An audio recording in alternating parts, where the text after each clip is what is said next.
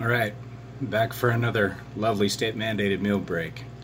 So I know that this channel is supposed to be about preparedness and we'll get to some of the stuff like food storage and medical kits and things like that, um, just like everybody else does. Uh, what I wanted to take a minute to do is talk about a different aspect of preparedness that you see people really struggle with in reality. Um, so if anybody's ever watched the uh, the TV show on the History Channel Alone, you see a lot of survival experts go out there, and while they have the physical skills um, to take care of themselves, to feed themselves, to make fire, things like that, what gets them every single time is the isolation, the emotional problems uh, that surface when you're alone with yourself, and when you got to be up in here.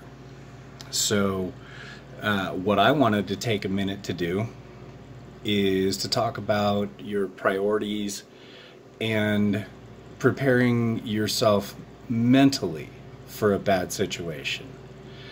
Look, we've already started this slow cascade down. Uh, riots everywhere, burnings. What's you know, what's good and right is now becoming illegal. I'm not going down that rabbit hole. Maybe in another video, not today. But what I wanted to talk about is your emotional and spiritual and social preparedness. So, what I mean by your emotional preparedness look, the idea is that you need people. Okay, if you're going to be a lone wolf, that's fine. Uh, that'll be a decision that you'll regret the rest of your life. Both days of it. Um, you know, all it takes is you getting sick one time and you starve to death. Look at Christopher McCandless. Uh, that's the guy from Into the Wild that got sick out in that school bus. Guy had all kinds of skills, all kinds of brains. Eh, well, eh, brains are never mind. Um, but he had no one there to take care of him. No one there to help him. No one there to help him prepare the the moose that he shot. All kinds of things. Anything that another set of hands could have helped with, or another set of eyes. So you need a group around you. Period. Even if it's just one or two people, that'll make your life so much easier. But what you need to make sure of with those people is that you've chosen the right people and that you've done proper vetting and proper maintenance. Proper maintenance of your emotional state, proper maintenance of friendships, of relationships. Don't walk away from any given day or an argument with a friend without having made things right. A family member, a friend, it doesn't matter. Make it right and do it now because later may be too late. so that's one aspect of preparedness that people don't do. They don't maintain their daily relationships. Another aspect of your emotional preparedness is be prepared for the idea that nothing's going to be the same. The quiet uh, that will ensue if there is a full on deuce hitting the air circulation device scenario is the the quiet is going to get people. They're going to go batshit when they can't get to their iPhone or access a network or what you know their social media is gone. People are going to lose it because they're going to have to have face-to-face interactions with people. And you need to have maintained a relationship with somebody in order for that to be successful. Wow, came full circle on that one, didn't we?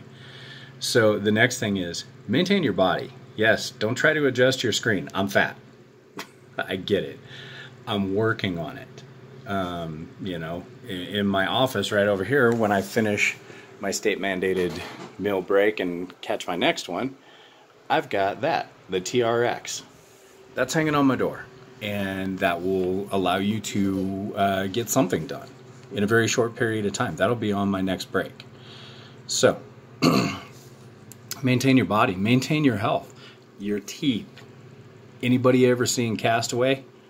You think you could pull off that trick with the ice skate? Ah, I think you're fooling yourself. Maintain that. Maintain medical stores of painkillers, antibiotics. Put them in some mylar. Make sure they're in a cool, dry place. Store them appropriately because one abscess tooth, one ear infection, one sinus infection, all the things that you could normally go down the, the street to quick care for and take care of business and be right back on the streets, that may not be an option. So take care of your body. Take care of your health. Invest in yourself. Invest in your mental health. Invest in your relationships.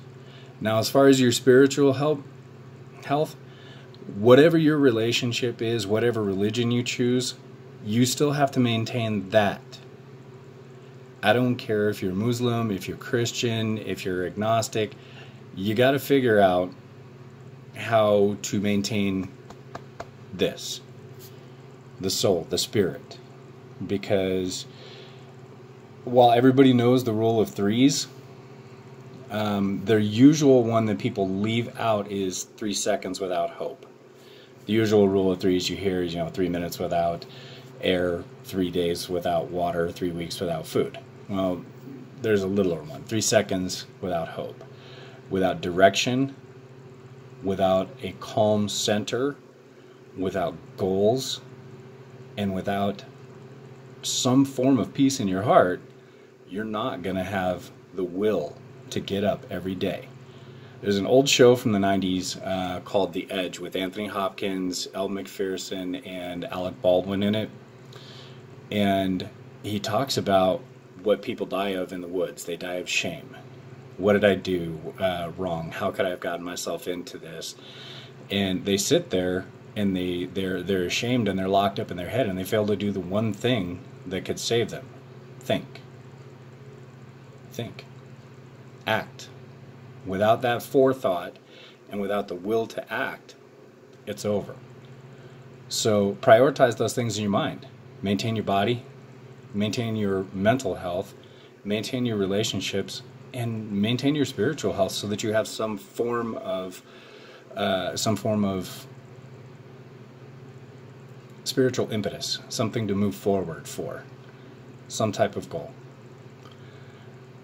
And with that, I will sign off, and maybe the next uh, the next video we'll do a little bit like food storage or something like that.